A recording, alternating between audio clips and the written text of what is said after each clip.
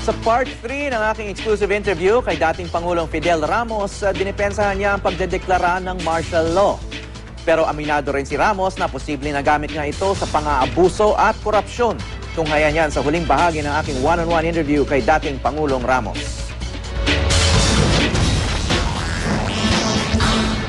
Nakita ko yung libro ni uh, Senator Juan Ponce Enrile dun sa mesa nyo. Ano? Uh, hanggang ngayon, uh, ginajustify nga niya sa libro yung, yung pagdeklara ng martial law dahil sabi nga niya may, may threat talaga sa bansa. No?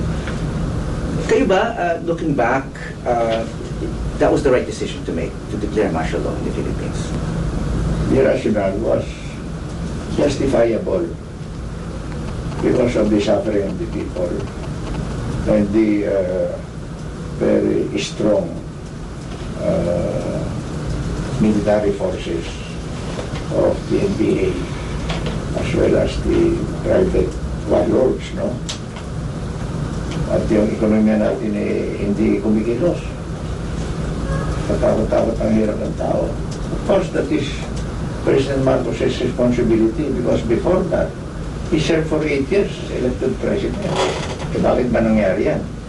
Pero in my own readings, eh, meron din yung uh, fear of uh, President Marcos of losing control of the situation kasi malapit nang matapos yung kanyang elected second term.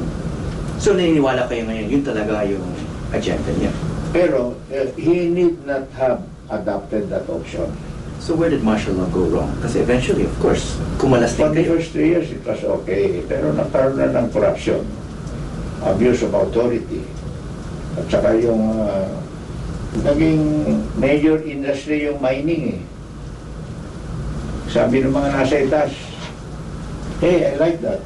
Hey, that's mine, ha? Mine, mine. Oh, ay, ha? Sir, mag, mag-election na naman, no? Ah, maging active ba kayo sa electoral politics? Ah, will you endorse? Will you help ah, your party?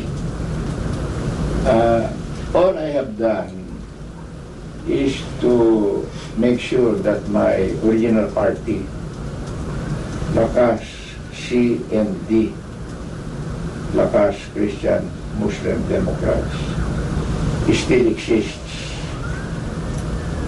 Hindi yung Lakas Kampi, hindi akin yun. Hindi ako kasama doon.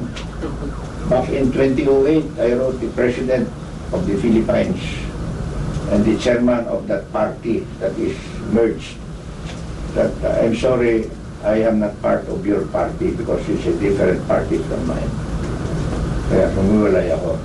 Ang sinasabi ko naman doon sa mga natitirang eh, kingpins namin, eh, siyempre, magkandidato kayo. At kung gusto nyo sumama sa ibang partido, siyempre, sama kayo doon sa kabila. For the meantime, pero huwag niyong kalimutan kung saan, kung saan kayo nanggaling. Never forget where you came from. Lumingon kayo sa akin, sabi ko. Ganoon yata tayo rito sa Pilipinas eh. Kung ikaw ang nasa ibabaw, eh, marami kang nakakasama.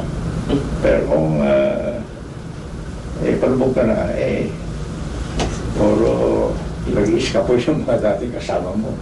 Eh, pero para sa akin, ah, dapat meron tayong maliit na reforma sana sa ating saligang batas. Hin- hin- Hindi, hindi amendment to the Constitution ang aking pinag-uusapan eh. The enactment of the law to define what is political dynasty. Kasi ang sabi ng saligang batas, that is prohibited as may be defined by law. Eh, pero hanggang ngayon, after uh, 26 years of uh, the 86 Constitution, 87 Constitution of Cory, eh wala pang naisa sa batas na definition what is political dynasty.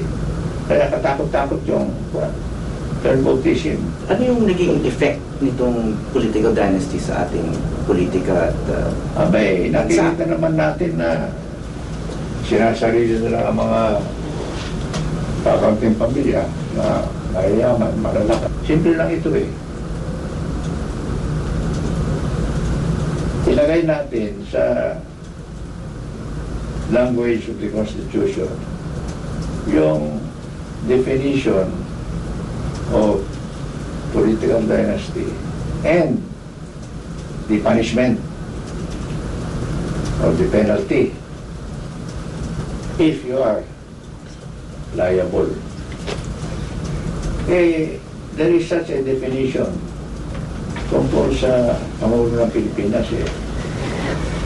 Yung under the section defining the powers of the President, uh, ang nando eh, the Chief Executive cannot appoint any relative to the fourth degree of affinity or consanguinity to an executive position.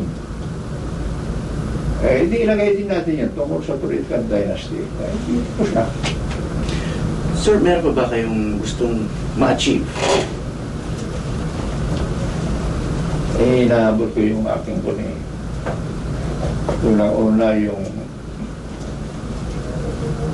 Can you shoot your age in golf or 18 holes? Mahirap yan. But you've done it. Mas mahirap sa huli nun. I've done it, pero sa short course lang yan. Kagaya ng Philippine Navy at saka Campaginado. Inaabot ko rin yung aking ni 60th wedding anniversary. Hindi ko na sasabihin sa iyo, pero malapit na rin eh. How about goals in politics? Tapos na. Would you never feel the itch na No, no. mga panya kasi, tumakbo ulit? Eh, ang sinabi ko sa sarili ko nung pasok ako sa kuwan, presidential uh, derby. Ah, derby ang tawag dyan eh. Karera eh. Ah, 1992. Sabi ko sa sarili ko, this is the first and only time I will be in politics. So I better make it. After I made it, sabi ko, ayoko na. Uh, at least I'm batting 1,000 kung baseball ang pinag-uusapan, di ba? Puro hit. Perfect score. Uh, pero tutulong ako kung saan kailangan ng tulong.